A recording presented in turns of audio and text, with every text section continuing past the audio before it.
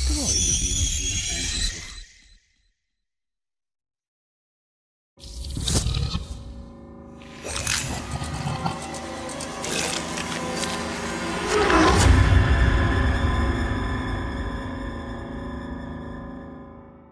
Приветствую вас, мои кровожадные печеньки.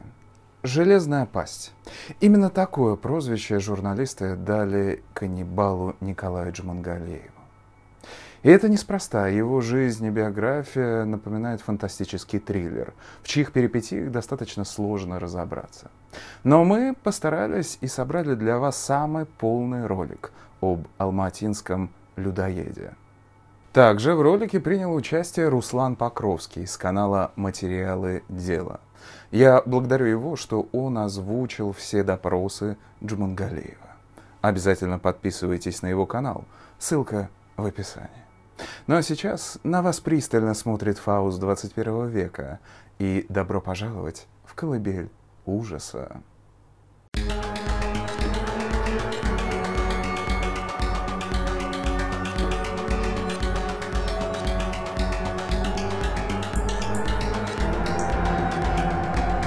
Колыбель ужаса.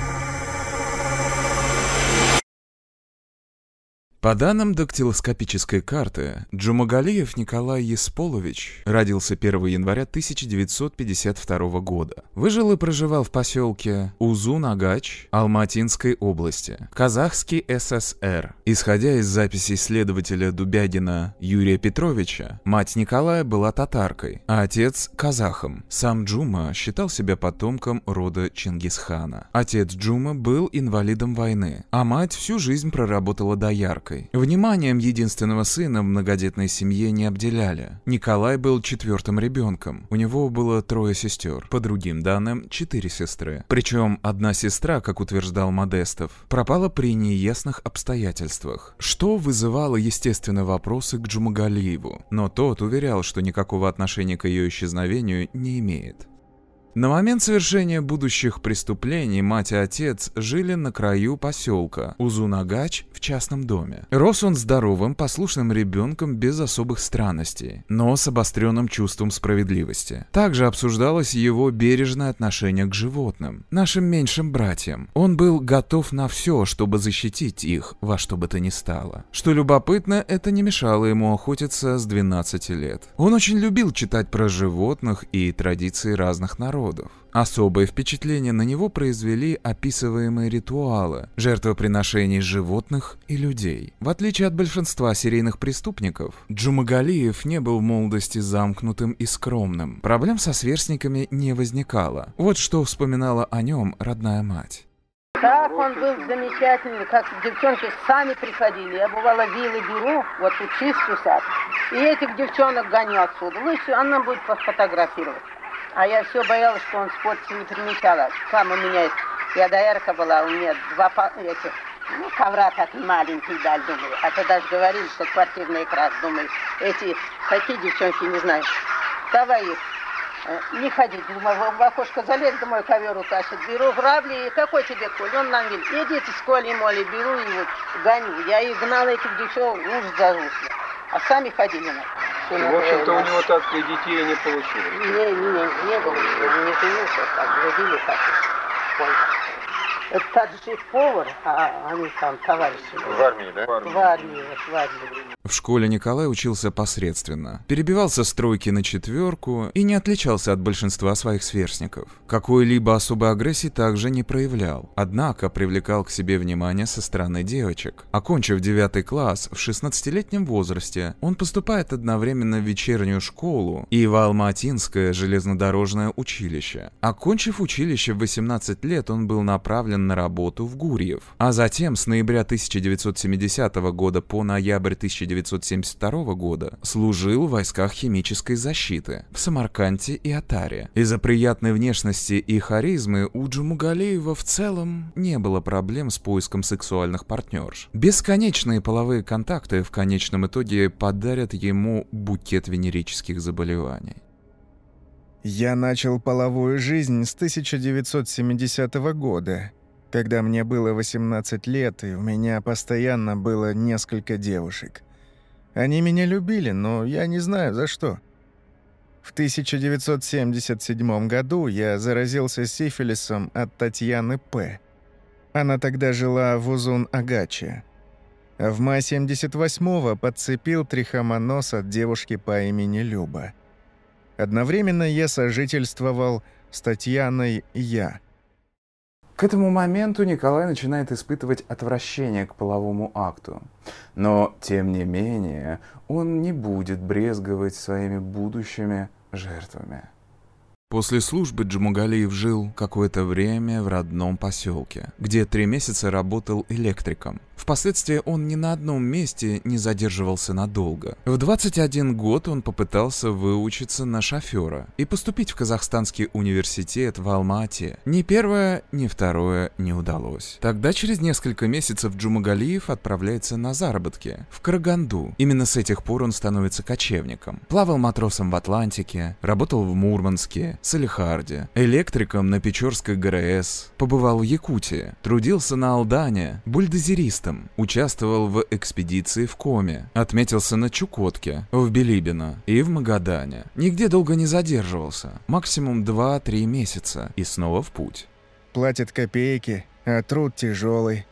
Именно в это время он неожиданно для себя встречает девушку, которая проникается серьезными чувствами, всячески за ней ухаживает, однако на одном из свиданий она говорит, что не только не испытывает к нему взаимных чувств, так еще и замужем. Это стало для избалованного женским вниманием Николая настоящим ударом и новой причиной для ненависти по отношению к женщинам. Их неверность и ветренность раздражали его, хотя он сам, по сути, будет заниматься тем же самым во время некоторых длительных длительных отношений. В апреле 1977 года Николай вернулся в Узунагач, где устроился работать пожарным и проработал там более двух лет, до первого ареста. С того момента, как он вернулся домой, он уже загорелся идеей борьбы с матриархатом. По его мнению, женщины на севере больше походят на мужчин, были грубыми, издевались над геологами, вели себя высокомерно, курили, ругались матом, спали с кем попало. Одним словом, жили не так, как вели велит ислам. Со временем ему вообще стало казаться, что большая часть человеческих бед происходит именно по женской вине.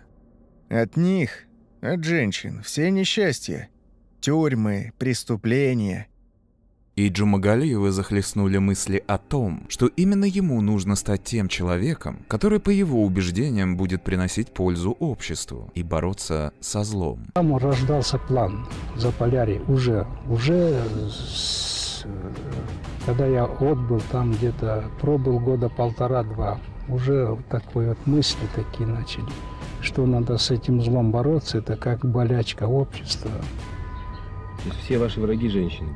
Оздоровлять общество нужно было с этого, так мне казалось. Николай также говорил о том, что ему снились и непроизвольно возникали зрительные галлюцинации отдельных частей обнаженных женских тел и внутренних органов. При этом он испытывал половое возбуждение.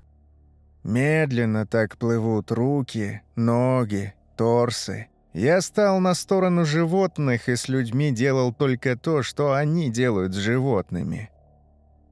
К первому преступлению готовился заранее. В своих работах Модестов утверждал, что жертву он выбирал из-за ее распущенности, наводил справки и выносил приговор – убить неверную. Но одно дело представлять это, а другое дело – реализация. На совершение своего первого преступления у Джамагалиева ушло два года. Писали также о том, что в конце 1978 года он стал прорабатывать план, как добыть женщину, разрезать ее и изучить строение внутренних внутренних органов. Якобы он решил, что можно стать пророком, напившись крови, и уменьшить половое влечение, наевшись плоти. Так сказать, плотью и кровью ее. Первое преступление Джумагалиева датируется 6 января 1979 года. Жертвой была Надежда Андронник. В реальности добрая и отзывчивая девушка, которая возвращалась из молитвенного дома в селе Узунагач, в поселке Фабричный, где и жила. Что касаемо обстоятельств рассказа Джумы о первом преступлении, то от них веет каким-то загробным мистицизмом. Вот запись, сделанная Евгением Самовичевым, со слов маньяка.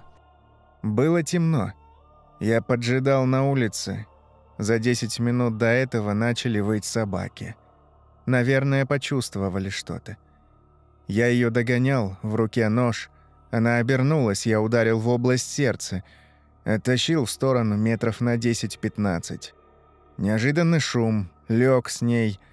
Потом оттащил дальше, расчленил и в разных местах спрятал. На костре я ее не жег. Закопал и пошел домой. Был удовлетворен. Испытал духовное наслаждение, как будто долго шел к цели и достиг ее. На допросах он говорил, что пил кровь из горла Надежды, а отрезанные части якобы планировал приготовить по старому рецепту. В кипящем кобыльем молоке растопить внутренний жир, затем перемешать и полученный раствор должен был приблизить его к самому Богу. Однако подтвердить это по существу было невозможно. Тело было обнаружено 20 января 1979 года из протокола осмотра места преступления. На свалке Каргалинского суконного комбината обнаружены части тела женского пола. Две ноги, в 15 метрах от них резиновые сапоги, распороты острым предметом у голени. Под кучей кучей камней, земли и проволоки обнаружена грудная клетка и руки. Обе груди вырезаны. При осмотре ног установлено, что надрезы начинаются на 15 сантиметров выше пятки и идут дальше до суставов, то есть икры отсутствуют. Голова отсечена на уровне первого шейного позвонка. В своей книге «Следующая жертва ты», участвующий в поисках Джумагалиева, полковник милиции Юрий Дубягин отметил следующее. 22 января дополнительно осмотрели место происшествия, и только тогда было вынесено постановление о возбуждении уголовного дела и принятии его к производству. Читая эти сообщения, хочется закричать, чтобы все услышали и не допускали в своей работе элементарной халатности и глупости.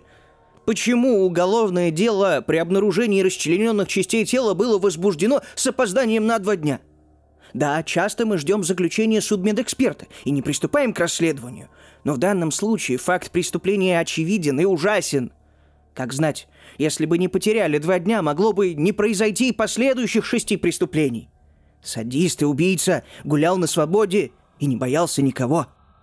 Надежда была баптисткой, Поэтому в народе поползли слухи, что это жертвоприношение их секты. Из-за этого следствие пошло по ложному пути, отрабатывая версию баптистов, которых советская власть обвинила во всех смертных грехах. Нет, конечно же, баптисты это секта, и в ней нет ничего хорошего, но они были тут ни в чем не виновны. Когда первоначальная теория о секте отпала, решили присмотреться к ближайшему окружению девушки. Так наткнулись на некого Вадима Зенцева, который был влюблен в Надежду и преследовал ее. У молодого человека человека были планы на то, чтобы жениться на ней, но по законам секты она не могла этого сделать. Молодой человек признался в совершении преступления. Однако его показания были совершенно неадекватны и не состыковывались с объективной реальностью. Он не мог совершить нападение в ее доме, разделить ее в ванной и отвезти на свалку. На это ничего не указывало. Во время медицинского обследования Земцева ему диагностировали вялотекущую шизофрению. А далее, мои уважаемые зрители, мы вступаем на территорию дикой неразберихи неразберихи, из-за которой действительно можно сломать свой мозг от количества противоречий в различных источниках. У Джумагалиева, по публичным данным, 10 жертв, но какие-то подробности о его жертвах постоянно меняются, путаются и порой неизвестно откуда берутся. Даже сам Юрий Петрович Дубягин при составлении хронологии в своей книге столкнулся с той же проблемой. Вот по его таблице. Лишение жизни гражданки Крюгер 21 апреля 1979 года. Рядом с записью отмечено «Тело не найдено, поэтому числится в розыске». Но при этом в другой его книге написано следующее. Второе тело обнаружили в поселке Узунагач. И что эта женщина, как и Андронник, была баптисткой. Репортаж Ленты.ру рассказывает нам, что в апреле была лишена жизни пожилая женщина, которая шла из церкви домой. Но вот если мы посмотрим на эту официальную фототаблицу осмотра места убийства Лаврищевой и ее дочери Александры, то увидим, видим, что дата произошедшего 20 апреля 1979 года. А Дубягин пишет, что Лаврищева была убита 21 июня 1979 года. Джумагалиев проник в жилой дом и зарезал там пожилую Лаврищеву и ее дочь Александру. В тот момент проснулась маленькая дочь Александровой, которая умудрилась спрятаться в шкафу, и ее маньяк не заметил. Со слов девочки, убийца пил кровь из порезов на шее ее мамы. Описала ли она преступника или нет, остается тайной. Александр Гинзбург, начальник штаба МВД Казахской ССР, присутствовал на допросе Джумагалиева и по данному делу сообщил о таком разговоре.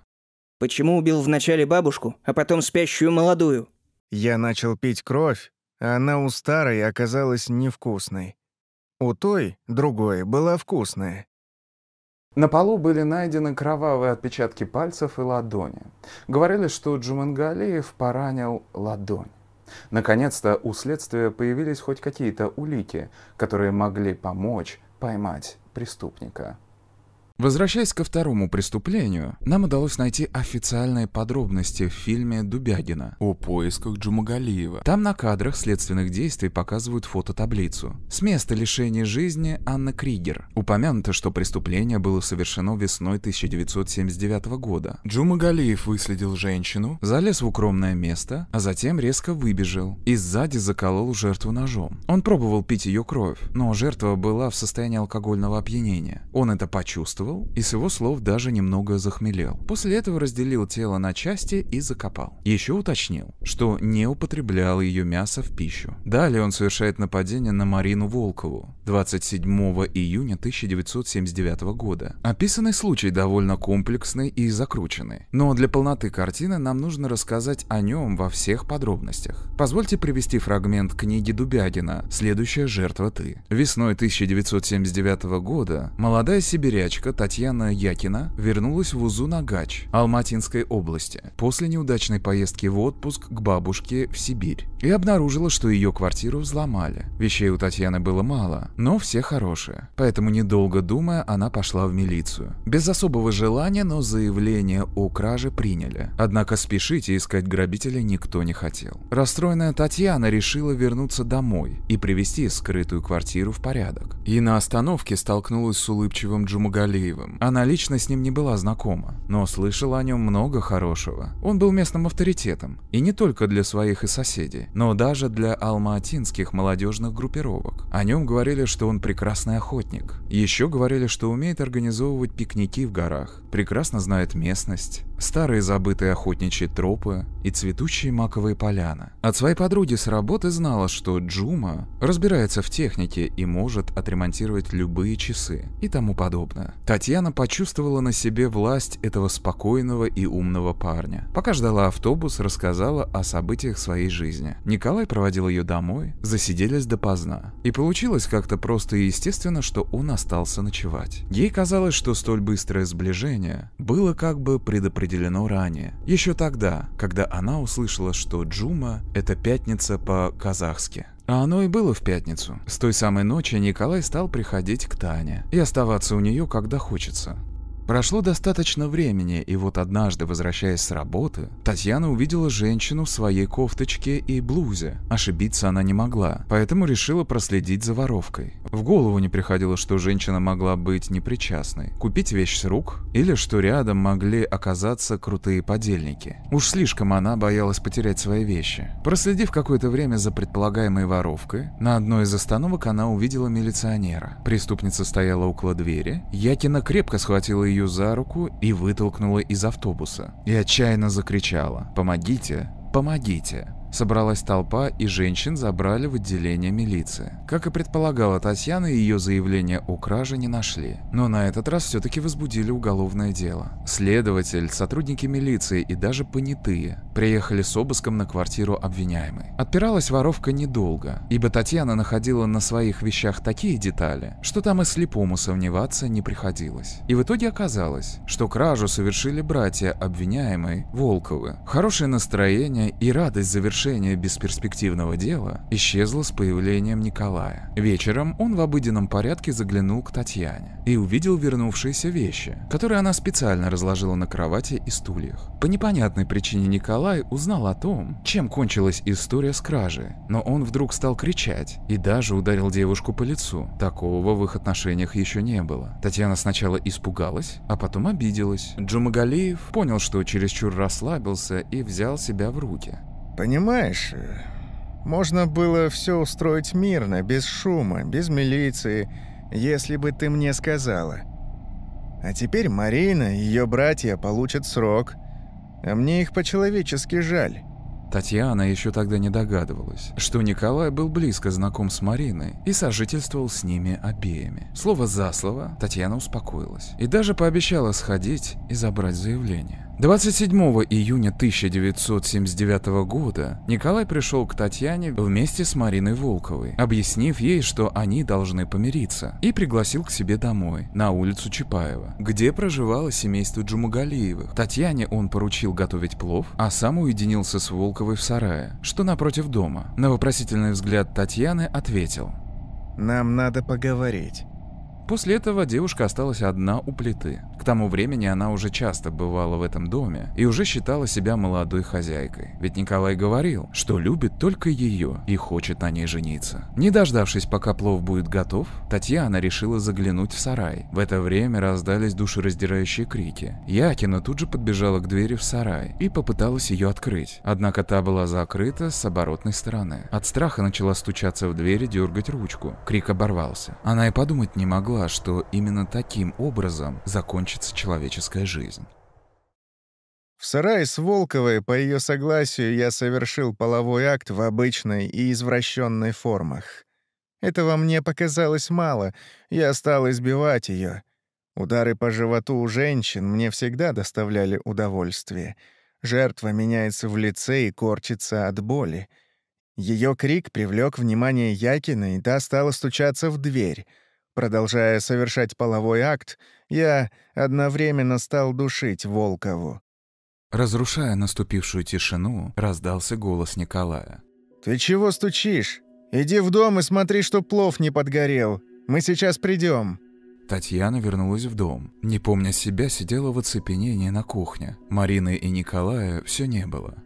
Когда Якина ушла в дом, я потихоньку вышел из сарая и забрался на чердак где у меня в рюкзаке хранились инструменты. Туристический топорик, несколько ножей.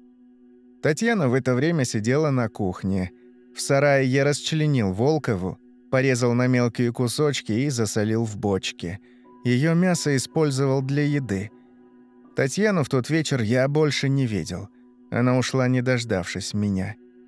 Он также говорил, что пробовал пить кровь Волковой. Татьяна через какое-то время все же вернулась к сараю, но на этот раз дверь открылась легко. Но внутри никого не было. В сарае было темно, но тем не менее она вошла внутрь и стала идти на ощупь, как вдруг ее коснулась безжизненная рука. Она резко вскрикнула, но никакой реакции не последовало. В ужасе Якина выбежала на улицу. Наступали сумерки. Женщина была испугана и терялась в догадках. Еще полностью не осознав произошедшее, она спряталась в кустах кустах у ограды. Увидела, что вскоре у дверей сарая появился Джумагалиев. Зажег свет и начал возиться. Через какое-то время вышел и позвал Татьяну. Она не шелохнулась. Николай стоял и вслушивался в темноту, как дикий зверь. Выждав немного, Татьяна побежала домой. Два дня она скрывалась от своего возлюбленного. На третий пошла за хлебом. И от знакомого милиционера узнала, что Волкова пропала. В конце недели Джумагалиев выследил Татьяну. Она потребовала объяснений. А он ей и выдал. Мол, Волкова настаивала, чтобы он расстался с Татьяной и женился на ней. Николай вспылил и оттолкнул ее, а та упала и стукнулась головой о бочку. От боли и злобы издала такой вопль, что даже Николай испугался. На вопрос, куда потом она делась, Джумагалиев пожал плечами.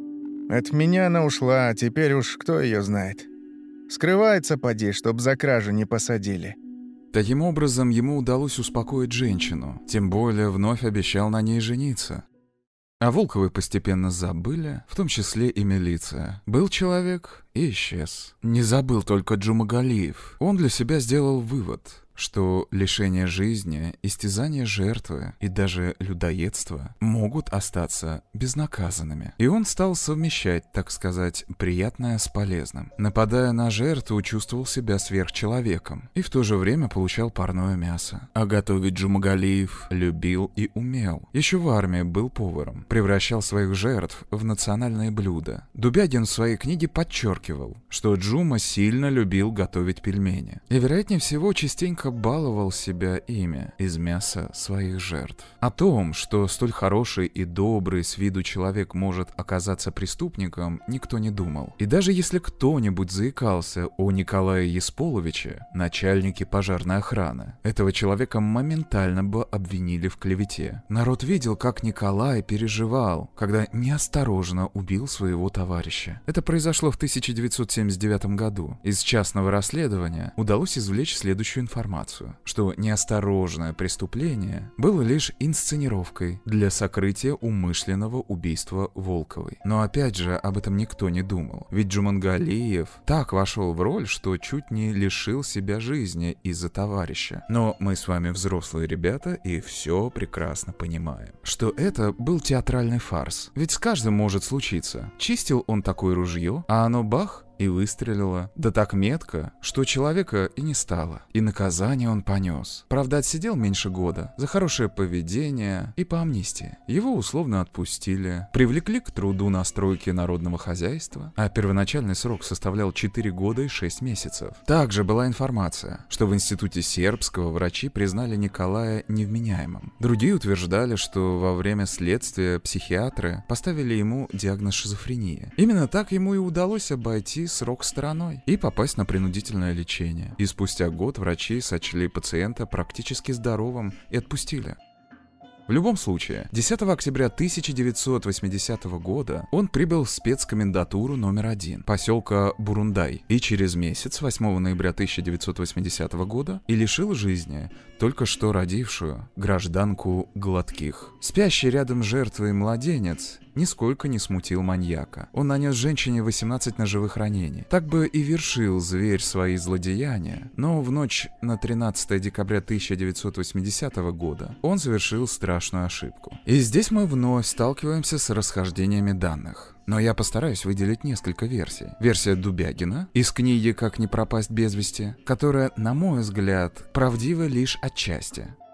Со временем он присытился подвигами, о которых никто не знал. Ему захотелось славы. Джумагалиев пригласил к себе друзей. Стол щедрого хозяина ломился от угощения. В спиртном гости тоже недостатка не ощущали, хотя сам хозяин был трезвенником. Изрядно выпив, гостям захотелось развлечений. Тогда Николай предложил им посмотреть на голову Тани. С пьяну расслышав «голая Таня», они с энтузиазмом приняли предложение. Пока хозяин отсутствовал, гости с удовольствием ели манты. Но вот дверь открылась, и на пороге появился хозяин, держа в руках окровавленную голову Манухиной. Гости моментально протрезвели. Один забился в истерике, другой кинулся в милицию. Этого Джумагалиев не ожидал. Его расчет был прост. Товарищи, которые только что ели манты из человеческого мяса, стали соучастниками преступления, а значит будут больше бояться и уважать своего начальника. Но не тут-то было. Когда домой пришли милиционеры, Джумагалиев Магалеев встретил их со спокойным видом и сказал, что, мол, его товарищ совершил преступление и лишил человека жизни, а он его охранял до прибытия милиции. Спокойствие Джумагалиева привело их в замешательство. Воспользовавшись этим, преступник выпрыгнул в окно. Версия Николая Модестова, в которую, если честно, верится с трудом, звучала так. Задержали Николая Джумагалиева, что символично с куском человеческого мяса в руке. Обстоятельства были таковы. Выпивал с приятелями и распущенными женщинами. С одной из них зашел в соседнюю комнату.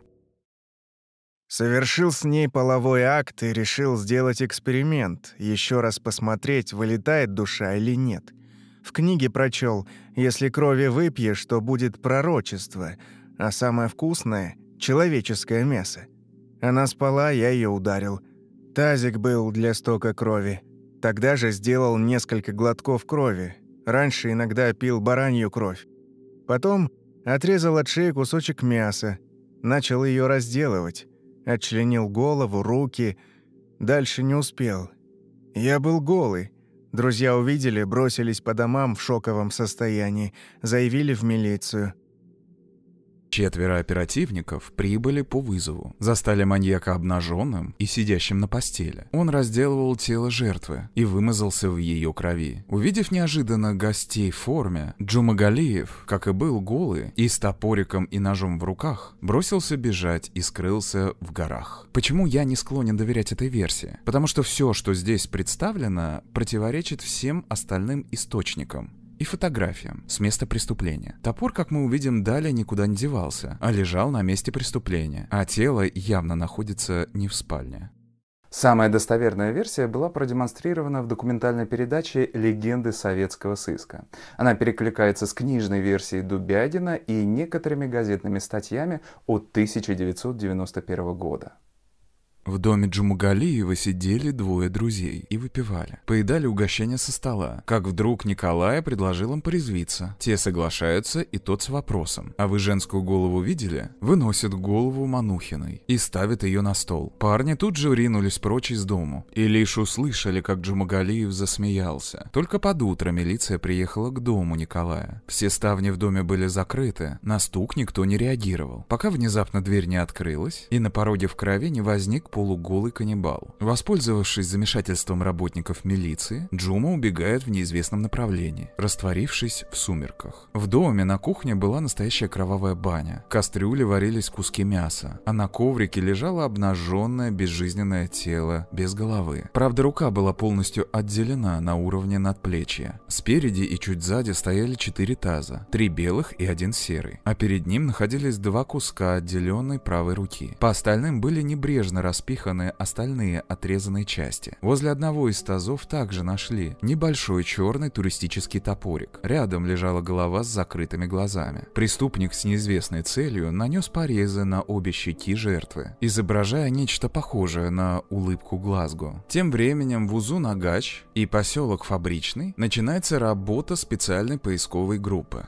Людям советуют не покидать дома, так как опасный преступник и каннибал находятся на свободе. Вскоре милиция получила информацию, что Джумагалиев был замечен голым, идущим по направлению к дому своих дальних родственников. Родственница, встретившая оперативников, на вопрос о том, где Николай, ответила что-то нечленораздельное. В доме происходит обыск, но ничего не находят. Уже думали, что преступник вновь их обошел. Но при повторном осмотре работник милиции Александр Голдовин замечает, что в старые доски пола вбиты новые гвозди, после чего было принято решение вскрыть полы. И вот там-то и скрывался уже чистый и умытый Николай, который к тому времени уже придумал себе личную защиту. Мол, он психически больной человек, его лечить надо. Он начинает рассказывать, что всерьез увлекается оккультизмом, читает книги по колдовству и черной магии. Якобы в книге «Черный туман» он прочел, что если порезать человеку горло и пристально смотреть, то можно увидеть, как душа покидает тело. Говорит, что смотрел, да ничего не увидел. Много чего он рассказывал. Да вот только вряд ли многое из этого правда. Это больше всего похоже на манипуляцию. Чтобы смотрели на него и говорили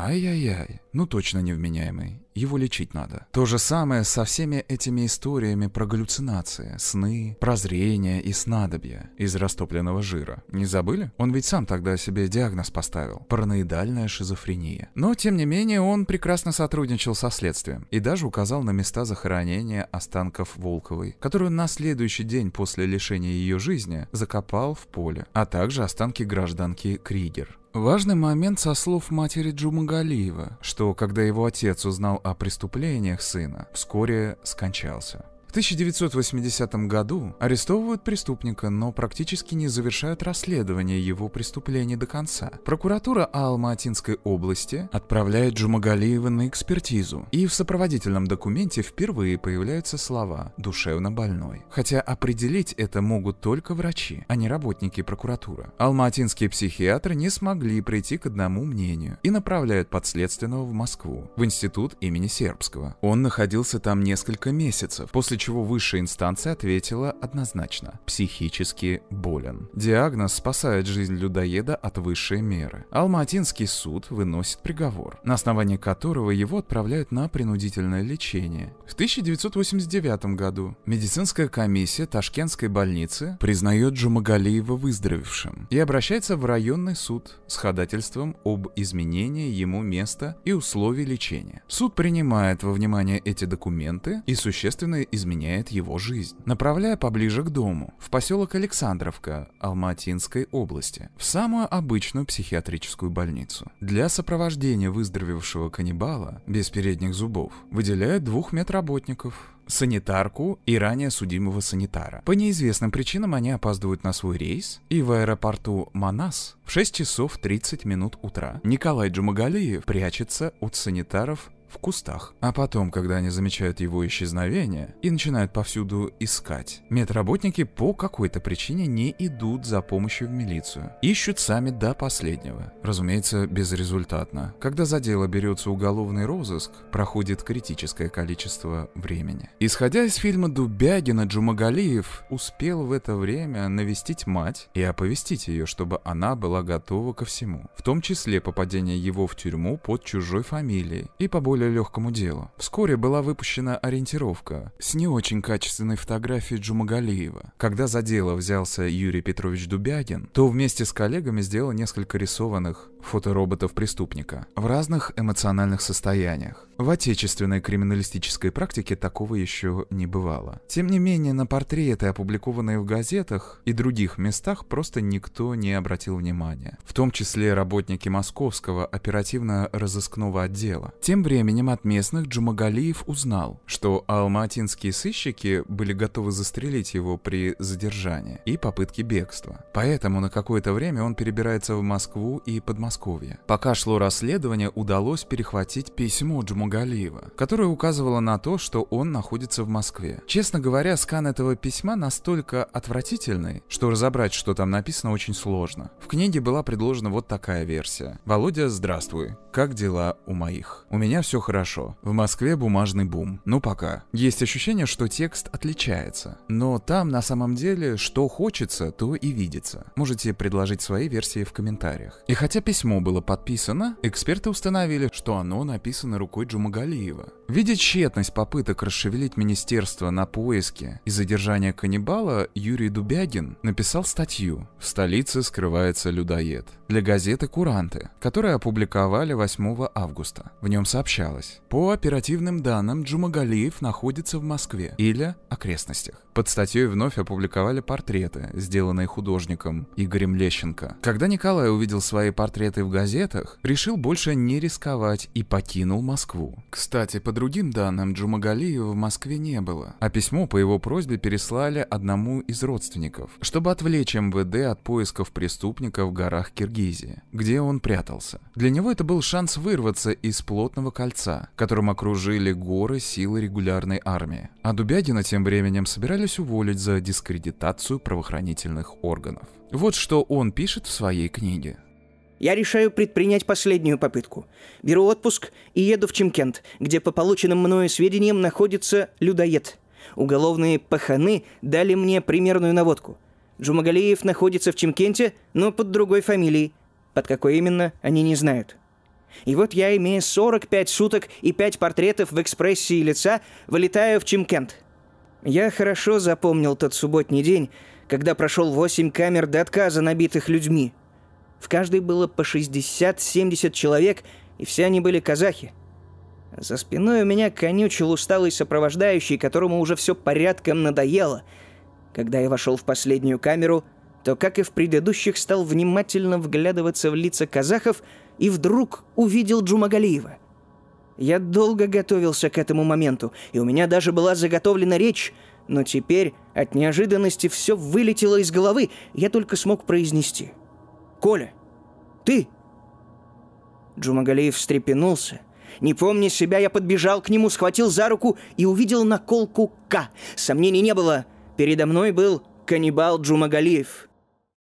Но как такое произошло? Джумангалиев был хитер и изворотлив, и практически два года он скрывался. Даже представить страшно, какие зверства он мог совершить за это время. Со слов самого Николая, он скитался по горам Алатау, жил там в шалашах и пещерах, охотился на зверей, собирал лечебные травы, а затем менял их у местного населения на продукты и спички. Иногда Джумагалиев выбирался в окрестности города. В основном на территории Киргизии я был. Я собирал мумиё, лекарственные растения, менял их на продукты с местными жителями. 29 и 30 октября 1991 года я встречался с ним в СИЗО номер один Ташкента. На мой вопрос, где он был и что делал с 27 августа 89 года по 15 апреля 91 Джумагалиев нагло заявил, что жил отшельником в горах. При этом никто его не видел и не мог подтвердить его правоту, кроме него самого. Я обратил внимание, что когда Джумагалиев находился в психбольнице, у него не хватало нескольких передних зубов. Теперь зубы появились. И на этот вопрос он готов был дать ответ. Дескать, весной 90-го года он спустился на два дня в один кишлак, нашел стоматолога и вставил зубы. Название кишлака и фамилию стоматолога не помнит.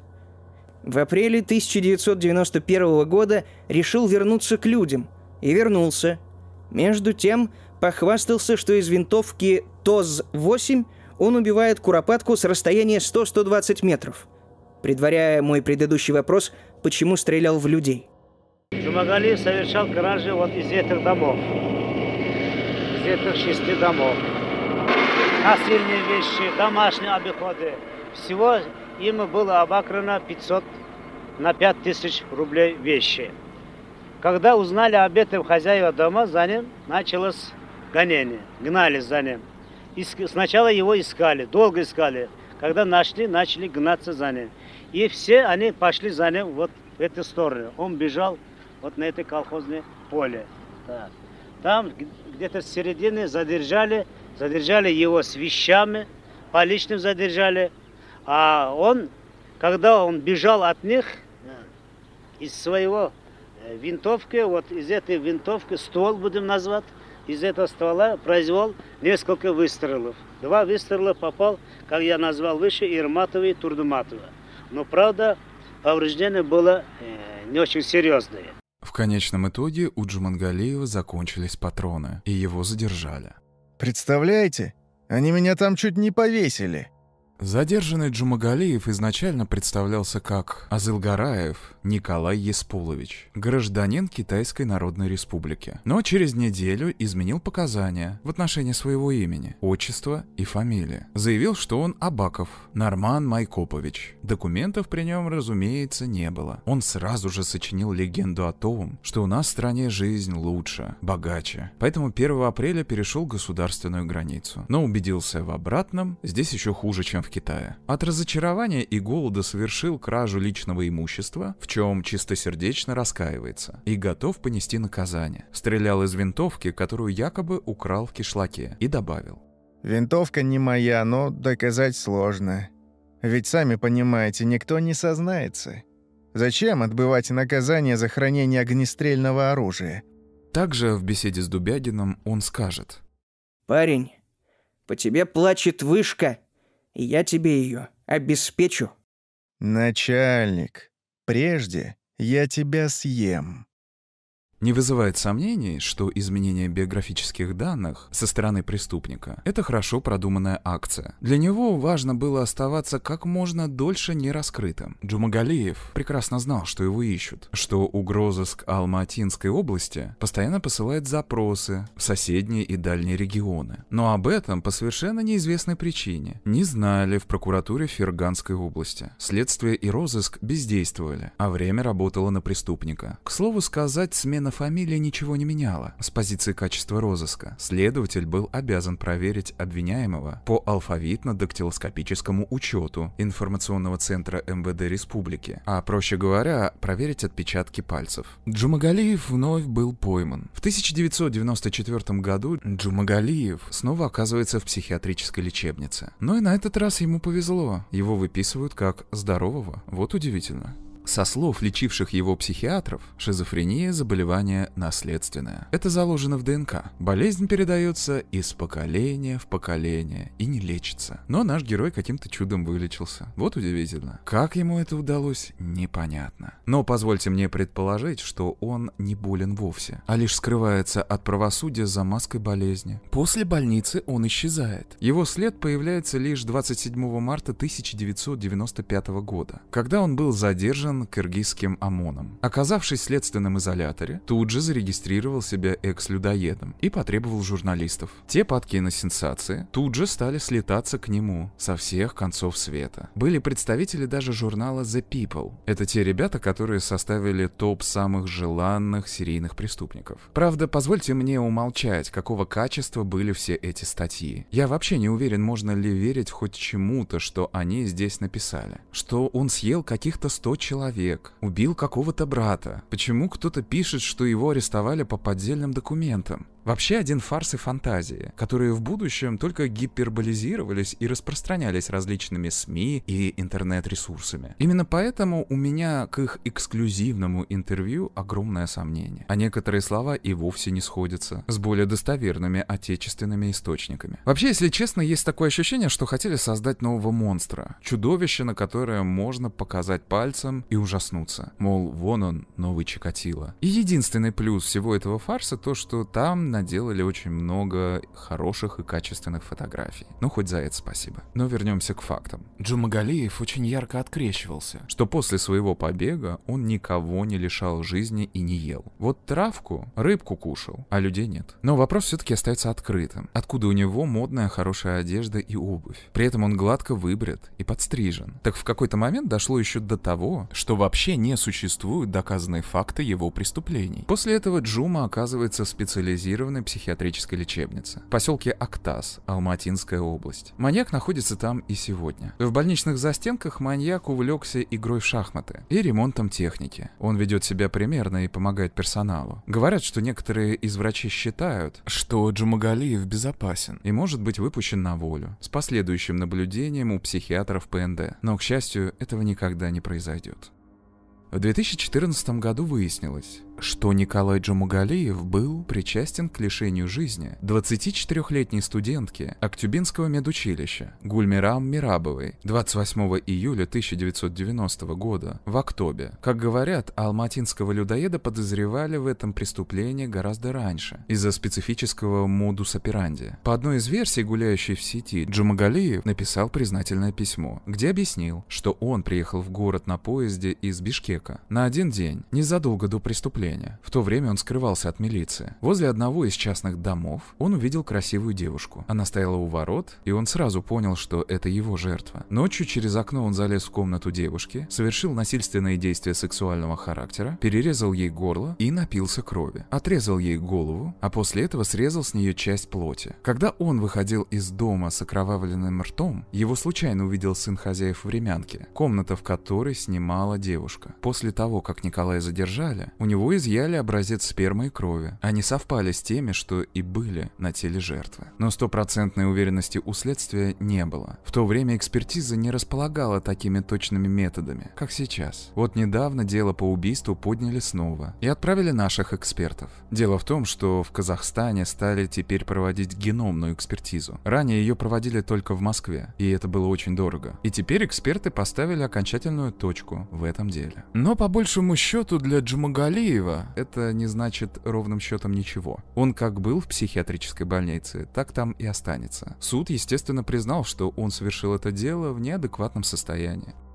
В 2016 году пустили слух, что Коленко вновь сбежал. Но это оказалась неудачная шутка. На данный момент к нему не пускают ни журналистов, ни экспертов и исследователей. Да и он, если честно, не особо желает этого. Ведь его молодой ребяческий дух уже поугас. И сейчас он доживает свои далеко не молодые годы в покое, без внимания прессы. Даже написал письмо, где просит забыть о нем. На момент записи этого видео Николаю 69 лет. На этом его жизнь и судьба заканчивается. В Казахстане 31 марта 2022 года вышел фильм «Три». Который посвящен поискам Джумагалиева. Режиссер картины прямо сказал, что герой этого фильма не маньяк. Он не ставил цель его раскрыть или сделать глубоким персонажем. И что на документальность тоже рассчитывать не стоит. Ибо это всего лишь художественный фильм. Но к просмотру рекомендуется. Ну а сейчас перейдем к психическому статусу Николая Джумангалеева. Честно, давайте без всей этой мистификации. Про его шизофрению, его мистические обряды, волшебные отвары, дарующие ему силу и знания. Давайте без профанации, мы все взрослые, образованные люди. Все, что мы отчетливо можем отметить, это заострение истероидных черт личности. Упорство, коммуникабельность, неадекватная обольстительность, манипулятивное поведение для удовлетворения своих потребностей, ложь и лесть. Умеет создавать о себе исключительно положительное впечатление, Вспомните, она лично с ним не была знакома, но слышала о нем много хорошего. Он был местным авторитетом, даже для алматинских молодежных группировок. Начальник пожарной охраны. За хорошее поведение его условно отпустили. Неустойчивость, быстрая смена интересов и жизненных целей, противоречивая система ценностей, представление о себе, о других, о жизни, цинизм. Давайте вспомним. Долго нигде не задерживался. Стремился защитить животных во что бы то ни стало, что при этом не мешало ему охотиться с 12 лет. Начал испытывать отвращение к половому акту, но все еще не будет брезговать некоторыми своими будущими жертвами. Эгоцентризм, жажда быть в центре внимания, тщеславность, стремление казаться значительнее, чем он есть на самом деле, ориентированность на собственное «я», как на эталон. Вспомним, со временем он присытился подвигами, о которых никто не знал. Ему захотелось славы. В следственном изоляторе зарекомендовал себя экс-людоедом и потребовал журналистов. Отмечаются также идеи собственного величия. Вспомним, считал себя потомком рода Чингисхана. Захлестнули мысли о том, что именно ему нужно бороться со злом. Загорелся идеей борьбы с матриархатом. Стало казаться, что большая часть бед по женской вине. Потворство по отношению отношению к себе, чувствительность по отношению к ущемлению собственного самолюбия, склонность к демонстративному суициду. Проникся к девушке, но та не ответила взаимностью. Платят копейки, а труд тяжелый. Также имеются признаки мифического мышления. Много читал про животных и традиции различных народов. Женщины жили не так, как велит ислам. Увлекся оккультизмом, читал книги по колдовству, и черной магии. Считается, что в основе истерической организации личности лежит опора на защитные механизмы, сексуализация и вытеснение, забывать неприемлемые мысли и желания или приписывать негативные события, эротической составляющей составляющие, превращая их таким образом в позитивное. То есть его глубокие обиды и фиксация на заражение венерическими заболеваниями от женщин сформировала в нем серьезные психические травмы и комплексы и трансформировала его в то чудовище, которым он стал. Кровь он пил не потому, что видел в этом какой-то оккультный знак, а просто из-за своей глупости и непонимания психологических процессов. Сам факт потребления крови возбуждал его и вызывал у него сильнейшую эрекцию. И Именно это и было его целью. Именно так он оправдывал достижение и получение высшей мужской силы. Ну и важно отметить тему антропофагии, или, как говорят в простонародье, каннибализма. Статистическое исследование Всемирной организации здравоохранения доказало, что каннибализм встречается всего у 2% населения земного шара. Если вы смотрели мой ролик о каннибализме и о его причинах, по своей невнимательности и спешке я мало уделил внимания национально-культурному и